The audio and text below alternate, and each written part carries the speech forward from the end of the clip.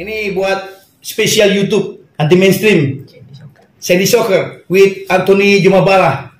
Seorang yang sangat disegani fans Persibaya ketika itu di zamannya. Tahun berapa bro dengan Persibaya di Stadion Gelora 10 November bro? Tahun 2007. Long time. Long time. Very long Kamu bilang tadi turun dari taksi. Kita 17 tahun baru berpelukan lagi Sandy. Wow. Wow. Tetap bersyukur ya. Anthony Jumabala tetap sangar from Liberia. Kamu terakhir ngobrol sama aku di radio cerita tentang presiden kamu kan, Josh Opongwea. Josh Opongwea. Legendanya Paris Saint-Germain. Jadi politician dan President Republik Liberia sekarang. Kamu ngomongin dia pernah berada di Paris Saint-Germain, sekarang PSG punya bos kecil kan, Iya. Kylian Mbappe, you know? Iya. Ikuti beritanya kamu. Iya. Dia nggak mau uh, pergi ke Madrid, bosnya marah-marah. Iya. Kamu di sini mau jadi apa terserah kamu, pilih pelatih, pilih pemain. Crazy ya.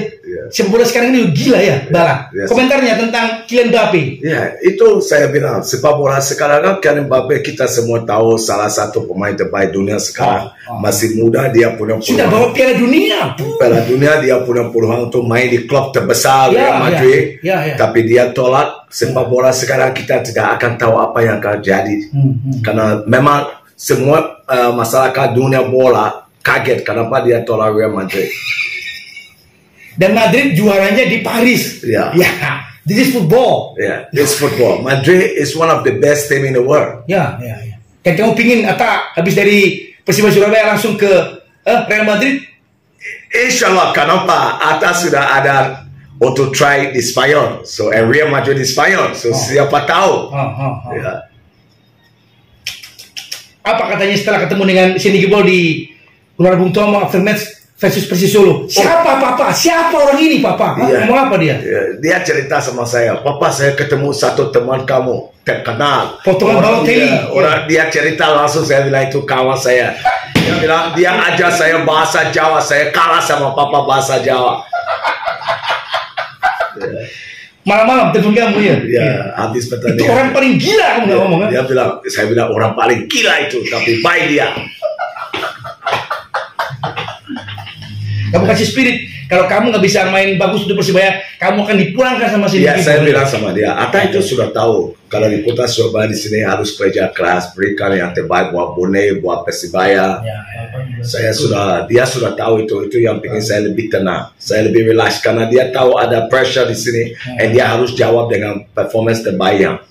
Nah, aku bilang sama Anthony Jumabala pada saat turun dari taksi pintas ya di dekat studio, saya bilang sama Bala, emang sudah takdir dari Allah Subhanahu Wa Taala Iya. tidak menang. Iya, Ya, respect buat tim tamu, Iya. ada keluarga istana, Ya, Bapak Gibran dengan ya, ya, yang punya Solo, Kaisang satu lagi. Persis Solo bawa Jason Tiago, you know. Ya. Ada saya Jason sendiri, Big saya sendiri sampai bilang sama Ata, kalian lumayan main bagus, jangan Hmm. kecewa ini pertandingan sebenarnya. Saya kalau suruh milih, mendingan dia kalah Ya. supaya untuk belajar untuk sama ini. saya bilang Ya, ya, kenapa ya. kalian pemain muda dengan pertandingan seperti ini kalau Ya. kalian bisa menang kalian rasa hebat Ya, ya. sekarang dikala kalian di kandang sendiri itu motivasi buat kalian Motivasi, siapin diri setuju, setuju. untuk kompetisi dia setuju dengan Ya. apa yang saya omong Ya, ya. kerja keras latihan terus Yang yang menurut Tony Jumabala masih kurang dari anak kamu atau apa?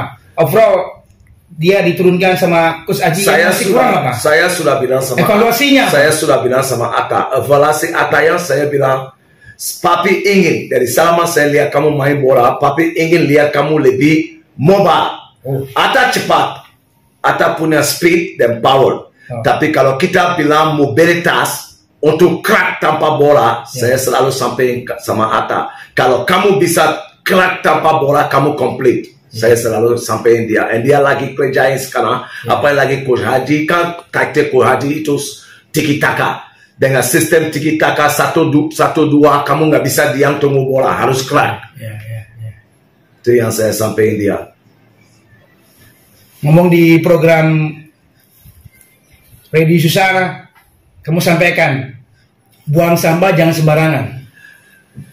untuk masyarakat Surabaya In the world, ini oke ini pesan untuk semua kita di dunia English commentary. Eh, oke Ya, ya.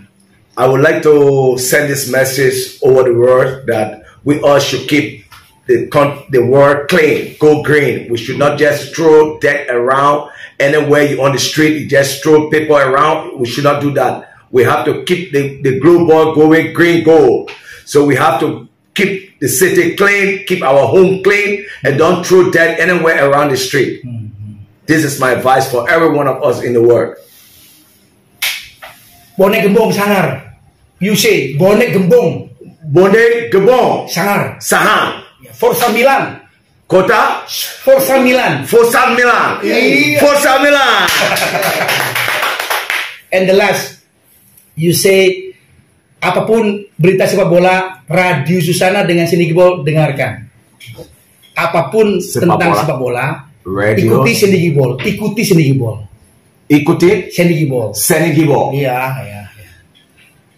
Saya ajak teman-teman semua kalau mau dapat berita tentang sepak bola harus ikut Radio Susana. Susan Radio Gibol, Gibon.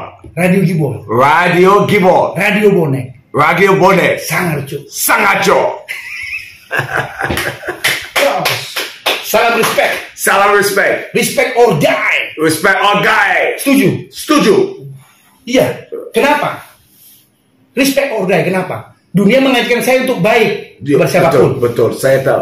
Dunia mengajar saya untuk baik. Kita harus saling merespect antara kita sendiri. Respect all guys. Iya. One love. Ya, weh, one love. Antara cuma bala. Satu nyali. Satu. Nyali. Yali. Wani. Wangi. Bagus.